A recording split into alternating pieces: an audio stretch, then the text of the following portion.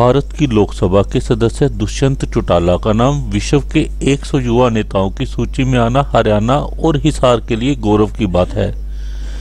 दुनिया के 100 युवा नेताओं की यह सूची global polling platform a political dot com द्वारा जारी की गई है। यह सूची अंतर्राष्ट्रीय स्तर पर सर्वे और नामांकन के आधार पर तैयार की गई है। सूची में उन चेहरों को शामिल किया गया है, जिन नेताओं का भविष्य उज्जवल है और नीति निर्धारण में जिनकी भूमिका रहने वाली है। सूची में 35 वर्ष से कम आयु वाले नेताओं को ही शामिल किया गया है। दुष्यंत चौटाला वर्तमान लोकसभा के सबसे युवा सांसद हैं। 2014 में हिसार से सांसद चुने जाने के समय दुष्यंत की आयु मात्र 25 वर्ष थी। दुष्यंत ने हरियाणा के पूर्व मुख्यमंत्री भजन लाल के पुत्र कुलदीप बिश्नोई को तीस हज़ार से ज़्यादा वोटों से पराजित किया था। यह दुष्यंत चौटाला का पहला चुनाव था। दुष्यंत चौटाला का संबंध भी हरियाणा के सबसे बड़े राजनीतिक परिवार से है। उनके पिता डॉक्टर अजय चौटाला हिसार से पूर्व सांसद हैं। उनकी माता नैना चौटाला हरियाणा के डबाली इलाके से विधायक है।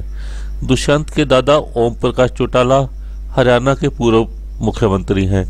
दुष्यंत के परिवार की राजनीतिक विरासत की शुरुआत चौधरी देवीलाल से हुई थी। चौधरी देवीलाल हरियाणा के मुख्यमंत्री और देश के उप प्रधानमंत्री के पद पर रह चुके हैं। दुष्यंत चौटाला का जन्म 3 अप्रैल 1988 को हुआ था। पिछले साल ही दुष्यंत मेघना के साथ वैवाहिक बंधन में बंधे थे। दुष्यंत इंडियन नेशनल लोकदल की ओर से सांसद चुने गए थे। लेकिन परिवार में फूट के कारण उन्होंने अलग पार्टी बनाने का निर्णय लिया है। अपने चाहने वालों में डीसी के नाम से लोकप्रिय दुष्यंत चौटाला 9 दिसंबर को जींद में रैली करके नई पार्टी के गठन का औपचारिक ऐलान करेंगे।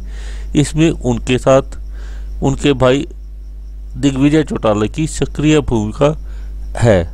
ए पॉलिटिकल की सूची में दुष्यंत चौटाला को उनतीसवें नंबर में रखा गया है। इस सूची में भारत से दुष्यंत के अलावा पाँच अन्य नाम भी हैं। भारत के युवा नेताओं में दुष्यंत का दूसरा स्थान है। पहले स्थान पर आंध्र प्रदेश के मुख्यमंत्री चंद्र बाबू नायडू के पुत्र नारा लोकरन है। नारा इस समय चंद्र बाबू की कैबिनेट में आईटी और पंचायती राज का काम देख रहे हैं। दोस्तों वीडियो को लाइक करें, शेयर करें और अपनी राय भी कमेंट बॉक्स में दर्ज कराएँ। हमारे चैनल को सब्सक्राइब करके बेल आइकॉन को दबा लें ताकि हमारे हर एक नए वीडियो की जानकारी सबसे पहले आपको मिल सके। धन्यवाद।